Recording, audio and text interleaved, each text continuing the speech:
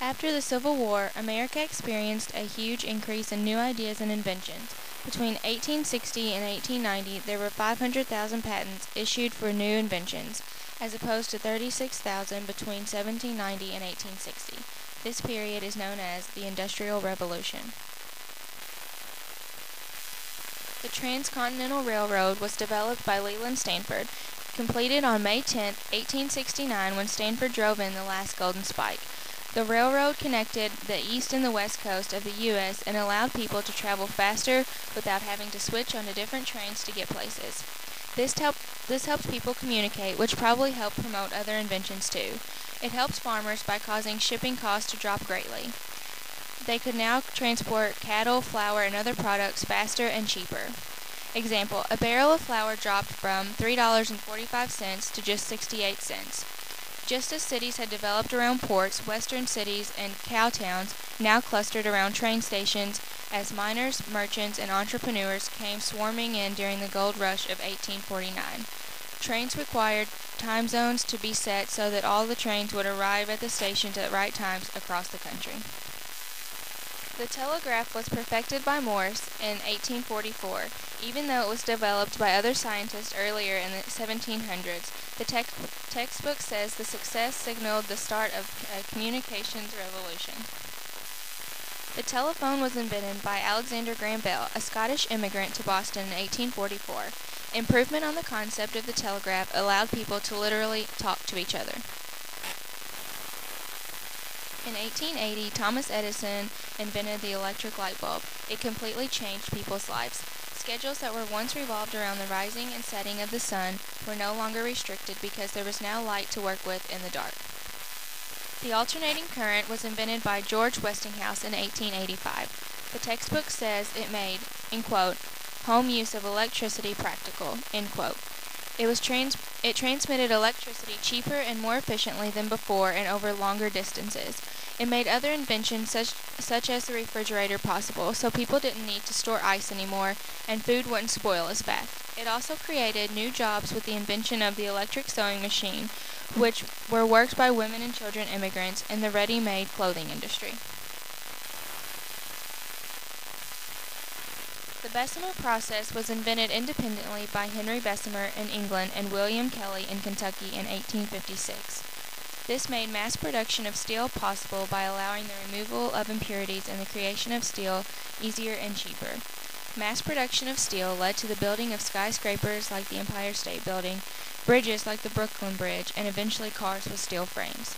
The Brooklyn Bridge, designed by German immigrant and engineer John Roebling, was the longest in the world. It spanned the East River between Brooklyn and Manhattan, and no longer required people to take expensive ferries and it often closed during the winter weather to get their jobs.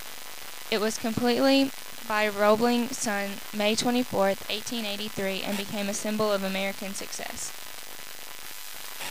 Industrialization at the turn of the century produced the robber barons and captains of industry, who both sought to become rich through innovations to make and sell products faster, cheaper than their competitors.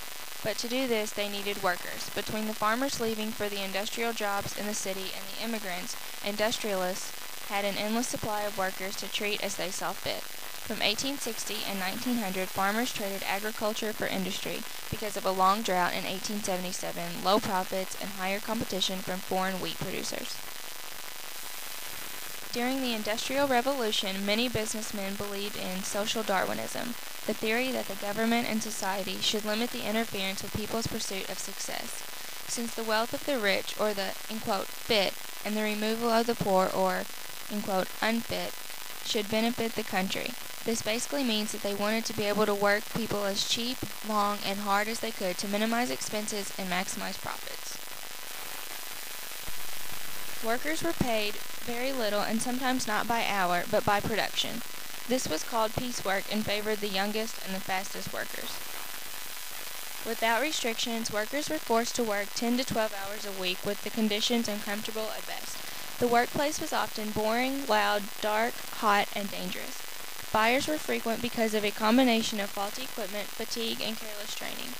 In 1882, an average of about 675 workers died a week. Now only about 120 workers die a week. Bosses were often strict, and they fined for tardiness, talking, back-talking, and refusing an order. Division of labor separated the different operations of the production of something like an assembly line.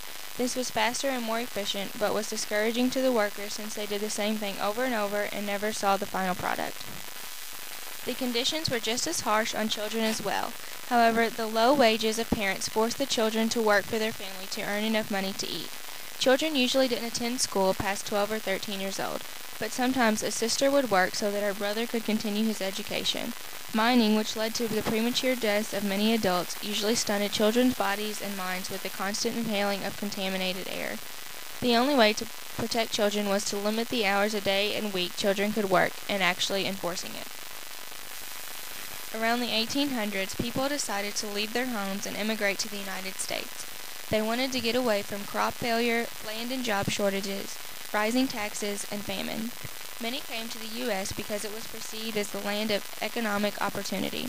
Many other were looking for personal freedom or relief from political and religious per- persecution. 70% of all immigrants entered through New York City, which became known as the Golden Door.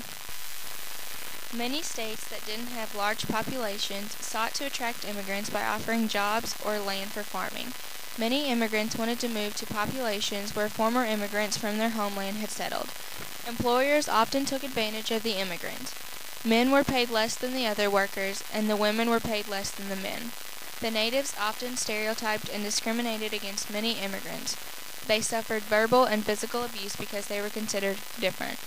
In the end, newcomers helped transform American society and culture, demonstrating that diversity as well as unity is a source of natural strength. The Second Reform era began during the Reconstruction and lasted until the American entry into World War I. The struggle for women's rights and the temperance movement were the initial issue, issues addressed. A farm movement also emerged to compensate for the declining importance of rural areas in an increasingly urbanized America. Progressivism was believed that man was capable of improving the lot of all within society. It was a discard of social Darwinism, the position taken by many of the rich and powerful figures of the day.